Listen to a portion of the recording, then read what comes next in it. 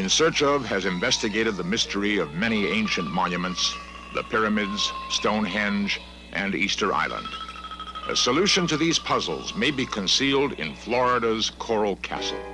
This monumental structure was created by one man with his bare hands in the 20th century. What strange forces created this castle of secrets?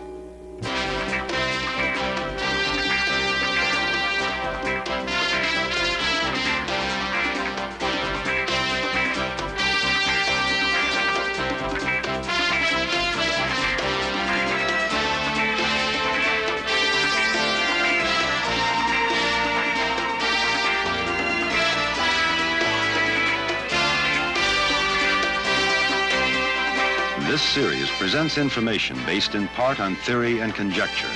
The producer's purpose is to suggest some possible explanations, but not necessarily the only ones, to the mysteries we will examine.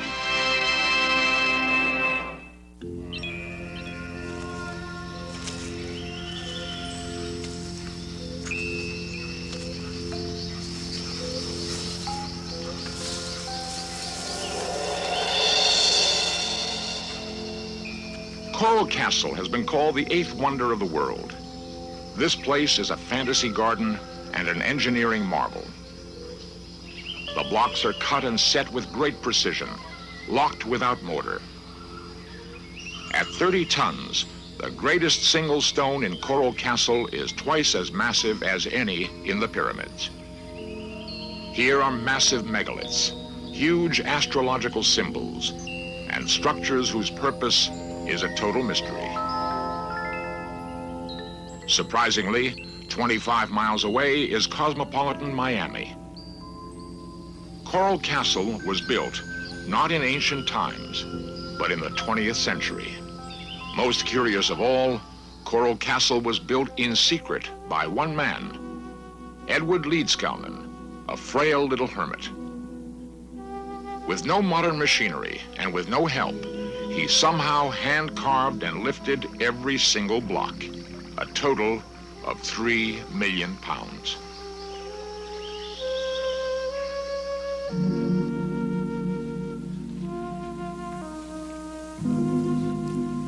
With all our modern technology, we might be able to duplicate the pyramids. But how could we ever do it with our bare hands? Dreamers beyond the fringe of science have postulated a long-lost art of harnessing anti-gravity. It seems incredible, but Ed Leedskalnin may have rediscovered these ancient secrets. Let's look at his life story. The mystery of Coral Castle began in rural South Florida just after World War I.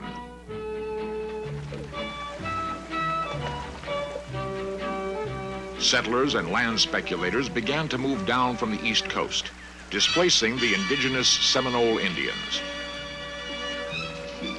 The newcomers found a humid, sprawling tropical land full of mosquitoes and opportunities.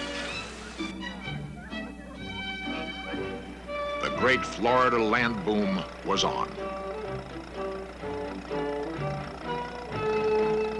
In 1919, as recreated here, a real estate man named Moser was scouting land along back roads near the Everglades. He spotted a stranger. First, he thought it was a boy and was surprised to encounter a very small grown man. The stranger couldn't weigh more than 90 pounds. Moser, always friendly, offered a ride. The little man introduced himself. Edward Leedskalnin. Recently immigrated from Latvia, he said with a smile. Was searching this part of Florida for a specific plot of land. Moser realized the little man had advanced tuberculosis.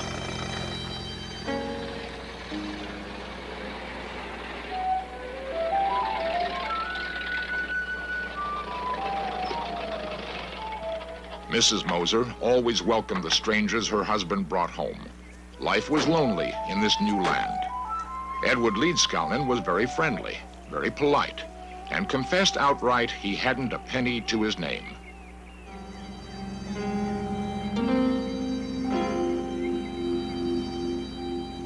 The Mosers selflessly took young Ed into their home and nursed him back to health.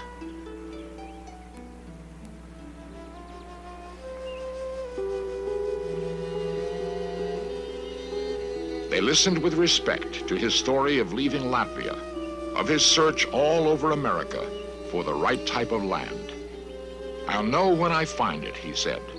It's for my sweet 16. He would never explain who she was, but Ed was obviously haunted by a dream or a memory of land and a castle for his sweet 16.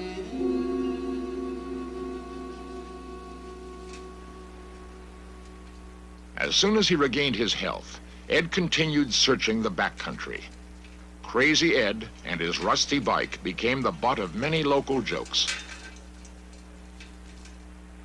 Neighbors, watching him prod the ground, began rumors that he was hunting for buried treasure.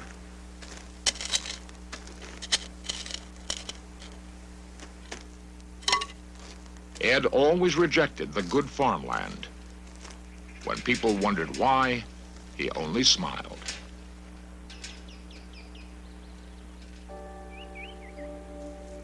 Finally, he excitedly brought Moser to a remote plot. Moser was astounded, for Ed had unerringly located the worst acre in the state. It was all bedrock, right up to the surface. You couldn't plow it, you couldn't farm it. Moser gladly gave a small section to his friend.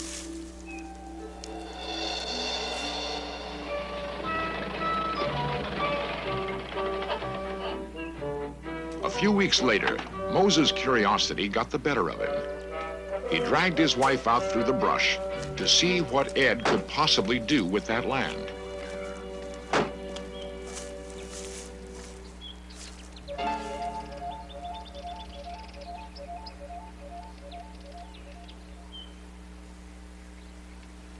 They couldn't believe their eyes. Ed had somehow cut a 10-ton block of solid coral right out of the bedrock and hoisted it into the air. As they nervously approached his flimsy tripod and the block which could crush them in an instant, they realized there was something more than craziness in Ed. How did he do it? Ed smiled and said, it's not difficult, really. The secret is in knowing how. Why did he do it?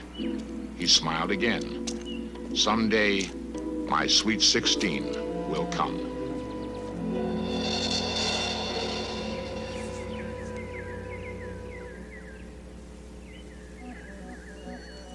Working alone, he cut more blocks. All the locals had to visit and gape at this accomplishment. Ed was friendly, but firm. He would never tell his secret techniques, and he would always stop work when people came near.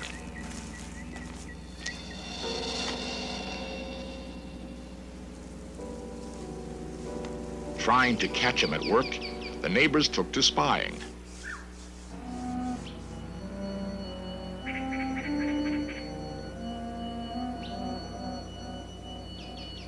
Some people swear they saw the rocks move. Ed could somehow sense their inquiring gaze.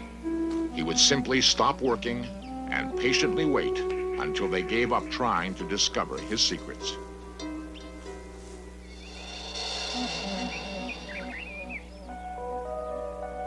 Sixty years later, the completed Coral Castle still embodies a number of unsolved mysteries.